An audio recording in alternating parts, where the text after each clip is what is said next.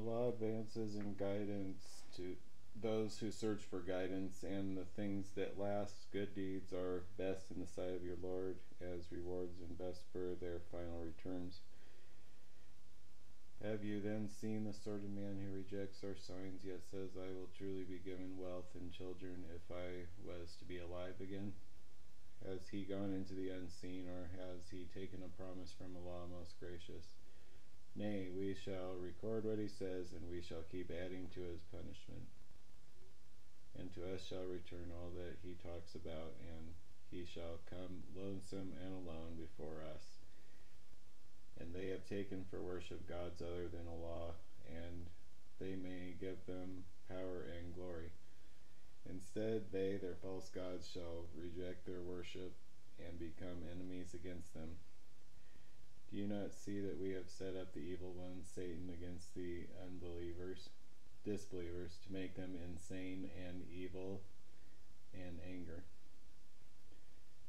So do not make haste against them, for we only count out for them a few number of days. The day we shall bring the righteous to Allah most gracious, like a group brought before a king for honors. We shall drive the criminals and sinners to hell, like thirsty cattle driven down to water. None shall have the power to plead for them except such a one who has permission from Allah the Most Gracious. And they say Allah the Most Gracious is father to son. Indeed, you sinners have brought forward a most horrible thing in a lie as if the skies are ready to burst open, the earth to split apart, and the mountains fall down in total ruin, assign or give a son for Allah the most gracious.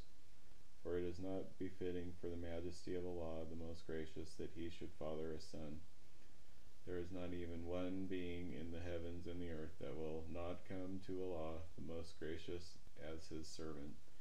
Verily, he, Allah, takes an account of them all and has numbered them all exactly. And every one of them will come individually to him on the day of judgment. On those who believe and do works of righteousness, Allah, the most gracious, will bless his love upon them.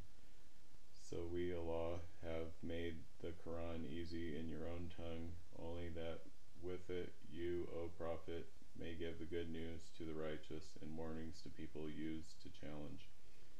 And how many generations before them have we destroyed? Can you now find a single one of them, or even hear a whisper of them?